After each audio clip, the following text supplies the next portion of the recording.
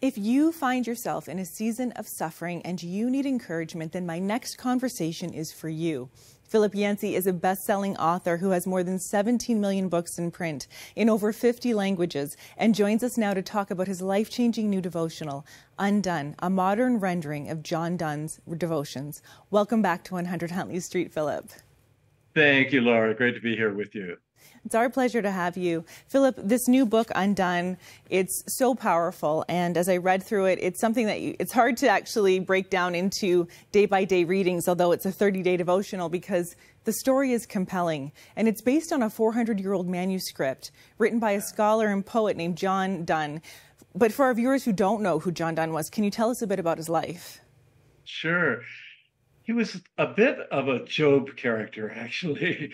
he just, uh, he was on the wrong side of politics, the wrong side of religion for much of his life, and he he started out writing pretty randy poetry actually, and then he he finally kind of came together, uh, went to seminary, became a pastor, and was appointed dean of the largest church in England, St. Paul's Cathedral. I'm sure many of your viewers have seen that, and this was plague time pandemic time, and it was much worse than what we've lived through with COVID 19. This was the Black Death. About a third of London died, a third of London fled into the countryside to find some fresh air, and only a third was left. They flocked to hear John Donne to bring comfort and some sort of some sort of uh, meaning to what the city was going through. And in the middle of all that, here's a man who actually was the pastor of people in great need. And then he fell ill, and everybody assumed it was the bubonic plague, the Black Death.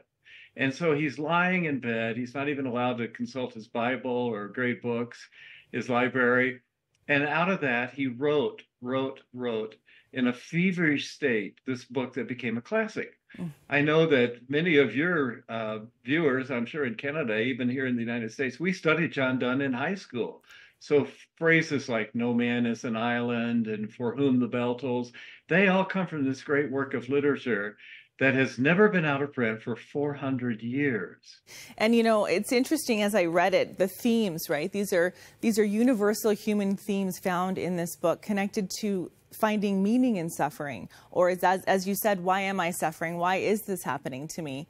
Um, you know what what amazes me is something that you point out in the book that especially in modern society, we're in this time uh, where we're treating the ability to be healthy and live, you know, as long as we can, almost like a religion. And so we're running from pain and suffering, and uh, which we understand, but at the same time, sometimes we do just have to journey through it. Tell us a little bit more about that tension. Well, to me, the tension goes like this the plot of the Bible is that we live in a good world that has been spoiled the theologians would use the word fallen world. So we live in a good world, but it's not the way it should be. It's not the way God had in mind. It is not the way it's going to be. God is going to redeem that world. So you've got the good parts of the world, but the bad parts of the world and the promise of hope and putting them together. And I think if if we really if you take out any one of those, if you try to pretend the world is bad, if without that goodness you miss the beauty the fearfully and wonderfully made human body that god gave us. On the other hand if you try to pretend that everything's are are great everything is great a virus comes along and it just pulls the rug out from under your feet. So here's this great theologian the pastor the largest church in england who wrestles with these questions that we all have and does it in a way that brings meaning and and comfort. Uh, how how how did it serve John Donne? Well, 400 years later, we still have his his match, his his dialogue with God, as it were, and and God did redeem the pain that he was going through, as difficult as it was for him at the time. Yes, and, and, you know, you mentioned wrestling with God. Something about John Donne's journey is that you know when we're reading his writings, um, and there, you know, you've got 26 of them within the 30 devotionals because you add the last four yourself. But we read his writings and we see his journey from onset of illness to diagnosis to treatment to symptoms. That entire journey that every patient who is suffering goes on, and within that, his fears and then those moments where he's calling out faith and hope within himself. it's such a challenging journey for those who are on a journey of suffering and struggling with illness. What do you think John Donne's um, honesty has to offer those who are in that season of their life? Hmm. Well, I've got an easy answer to that because right when I was in the middle of this book, I got a diagnosis of Parkinson's disease. I had some kind of mysterious symptoms and I went to the doctors and finally found someone who identified what was going on. And here I am at home during the daytime working on John Donne, and he became my companion, someone who had been before me, someone who was anticipating and then reflecting back on the very things I was going through, that fear of people talking about you when you're not in the room and and the doctor is not really telling you the whole truth and and you're you're sitting in a lobby with people who have even worse movement disorders and and thinking is that me am i going to be able to continue to write am i going to be able to continue to walk things like that it it just it eased things for me to realize John Donne, he struggled with each one of those fears. And at the end, he said, You know, I've got two choices. I could either fear every one of these little things, or I could fear God in kind of the the all Old Testament way of fearing God. I'm just going to fear God. And if I fear God, I don't have to fear any of these other things. And and insights like that that would never have occurred to me were were hallmarks for me. I could they're like a a cane I could hold on to as I'm walking down a new path. Well, yes, and Philip, you know, our team did catch wind of your diagnosis, and we've been praying for you. And we know it's something that is a big challenge in this season, and we'll continue to pray. Um, you know, it's it's never easy in these kinds of journeys, but we know that we do encounter God in new ways sometimes when we're suffering, and I find that that's the case in my own life. Um, in this season where you are having these challenges, how are you encountering God in new ways? When things are going well, you you kind of want to be independent and you want to just uh, take care of yourself and not rely on other people. When you do have some sort of affliction like Parkinson's or uh, cancer, those kind of things, you can't be that independent person. You have to rely on other people, and that's actually good training for us. Let's start by relying on God. Let's let's go every day and say, I I can't handle this very well on my own. I need help just to get through this day. Kind of one day at a time rule, and and it's not easy for me to be a dependent person. Fortunately, I have a very strong wife who says, you know, I've got the big shoulders. Let me help. Uh, be vulnerable, be be honest. And the lovely thing about John Donne's book is that he's so excruciatingly honest. Uh, nothing that that I've experienced yet is not already reflected in this in this book, this 400 year old book. You know, when you look back on your life, Philip, from a young age, you understood what suffering was. You lost your father to polio hmm. just when you were, I think, one years old. Correct? Right. That's right. Yeah. Yes, and um, you may have noticed in the news just recently the the oldest person who lived in an iron lung just died. I think he was 78 years old, and here for all of his life he had been living inside this metal tube. Well, my father was in one of those metal tubes, and I was thinking, what would my father's life have been like if he had just stayed in that tube? But people thought he would be healed. We need to be very careful in how we pray and what we what we think about pain and suffering because people who loved him thought he would be healed, so they removed him from the iron lung. And actually, he died because of that. And I lived under that shadow. These were people who loved him, who wanted the best for him, but they took a prerogative that they really didn't have. Instead of trusting God, they decided what God would do for them and acted in in a, a way that turned out not to be helpful at all. Yes, and, and Philip, I can't help but think that that has impacted and shaped a lot of your writings, not just with Undone, but previous books you've written where you're exploring questions like why do bad things happen and where is God when it hurts and themes of suffering.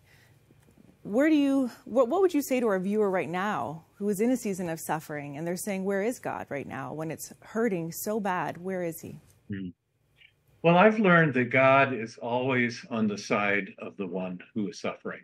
And when a bad thing happens, often it's easy into just instinctively to think, uh, well, God's punishing me. And, and if you go through, especially the New Testament, just follow Jesus around. Never does he say, oh, you deserved it, or you just have to put up with it. He always responded with comfort and with healing. So God is always on the side of the sufferer. He doesn't he doesn't want us to suffer. He wants there to be healing, but we live on a planet that is broken. And part of God's answer to suffering is to have the body of Christ act as Jesus did when he was on earth, to bring that compassion, to bring that healing to people who don't have it. Indeed. And, you know, as I read Undone, I recognized that, you know, for both John Donne and for you, a big place where our suffering becomes dealt with and at least maybe tolerable is when we look at the cross of Christ and we see how he suffered. Tell us more about that. Right. Yeah. it would be one thing if if God very distant and remotely said, well, those people down there, uh, this is just something they have to put up with. But but that God, the infinite God who created the universe, deliberately chose to come to earth to be one of those people. And and the book of Hebrews says things like Jesus learned obedience through the things that he suffered. We don't have a high priest who do, doesn't know what it's like down here.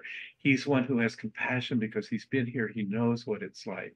And not only did he come to earth and have the kind of the normal human suffering that we do, but he went through this brutal death for us to let us know God is on the side of the one who suffers. And he's going to take the worst thing that could happen, the execution of God's own son, and turn it into the best thing, the the salvation of the world, and then show us through the resurrection that hope that we have for the future. That's that's the Christian gospel in a nutshell. Shell to take the worst thing that could happen and turn it into the best thing. We call it Good Friday, not Bad Friday, Tragic Friday, because of what God can do. God can take junk and recycle it into beauty.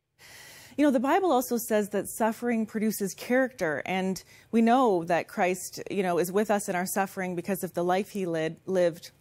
When we think about suffering producing character, I think about John Donne because there was a plot twist to his story. He didn't have the bubonic plague.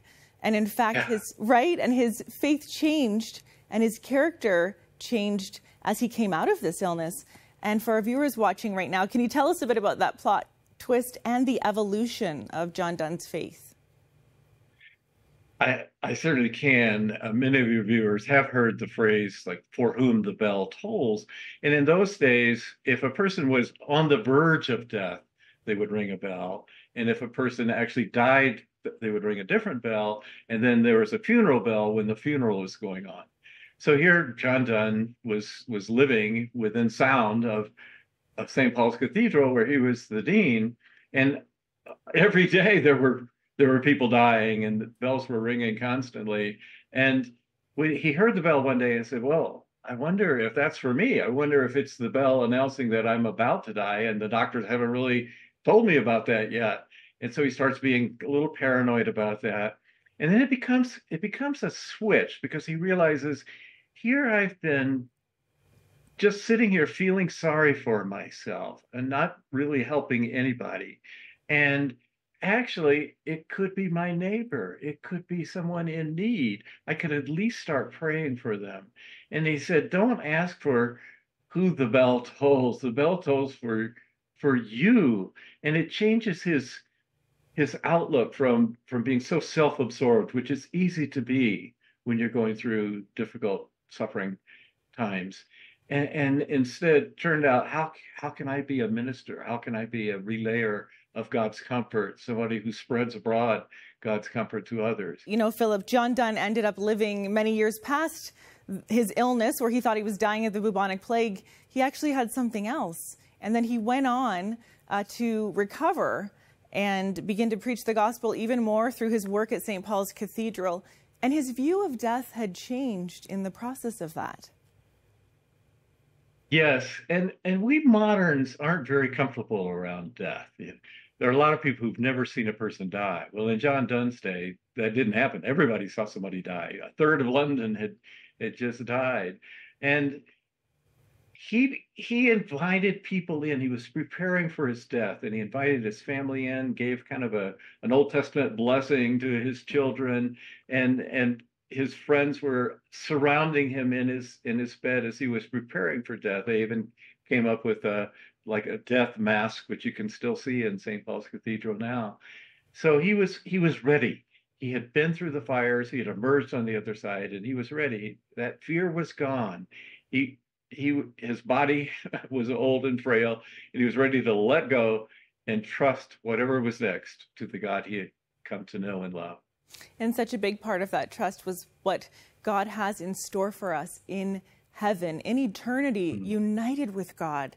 Philip, we're so thankful for your time with us today, and we will be praying for you on your health journey. Thank you so much for joining us today. It was my pleasure, truly. And thank you for spreading abroad God's comfort to your listening audience. Our pleasure. If you find yourself in a season of suffering right now, whether that is uh, an illness or loss or uh, a time that is unprecedented that you couldn't have predicted in your life, I want you to know that God is with you in that suffering. There are times in my life where I have suffered physically and God has never been closer. I want to encourage you right now that God loves you, that He sees your suffering, He sees your pain, and He wants to step into it to bring you peace and comfort that passes all understanding. If you need prayer right now, please call our prayer partners at 1 273 4444. Please remember that you are so loved, that God loves you, He has a plan for your life, and He's with you in this very moment. And if you need encouragement on your journey through your suffering, through those things that are happening in your life, I want to encourage you to get Philip Yancey's new book, Undone, a modern rendering of John Donne's devotions. These books are honest reflections of the journey of suffering and pain. They offer resolutions about who God is and who we are, and moments of prayer throughout every devotion that will encourage you daily on your walk.